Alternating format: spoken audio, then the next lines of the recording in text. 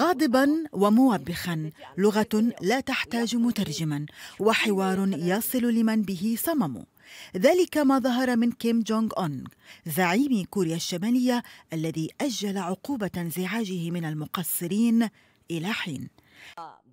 الآن وبكل صرامة وحسم أمر الزعيم كيم الانتقام من مجهري لا يرى وحشد جيشه وخيله للقضاء عليه. أو على من تسول له نفسه الإصابة به سرا. خمسون حالة وفاة ومليون ومئة ألف إصابة تتحدث عن حمى خشيت وكالة الأنباء الرسمية تسميتها بالوباء. دفعت بالزعيم الكوري الشمالي إلى عقد اجتماعات يومية مع الخروج بنفسه لتفقد ما حصل من تقصير.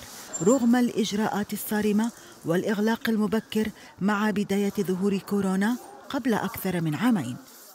فكيف خرجت الأمور عن السيطرة وسمح لهذا المجهر أن يتحدى القيود؟ توبيخ وانتقاد لاذع وجهه الزعيم المستاء من السلطات الصحية التي أوصلت البلاد لهذا الحال بسبب الإهمال والتراخي في التعامل مع الأزمة قبل خروجها عن السيطرة. وهي الجهة المسؤولة عن توفير الأدوية جونغ أون ينتقد السلطات الصحية في كوريا الشمالية ويأمر بتعبئة الجيش للتدخل وحل مشاكل تتعلق بالمخزون الدوائي في بيونغ يانغ. التوبيخ الشديد طال أيضا المكتب السياسي الذي يجتمع معه بشكل يومي لإدارة الأزمة التي ألمت بالبلاد.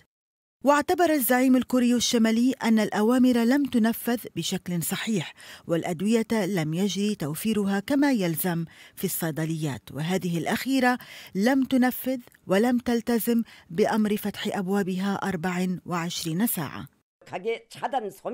كيم يدرك أن تفشي المرض سيحدث اضطرابا كبيرا في البلاد التي تعد الأسوأ عالميا في النظام الصحي.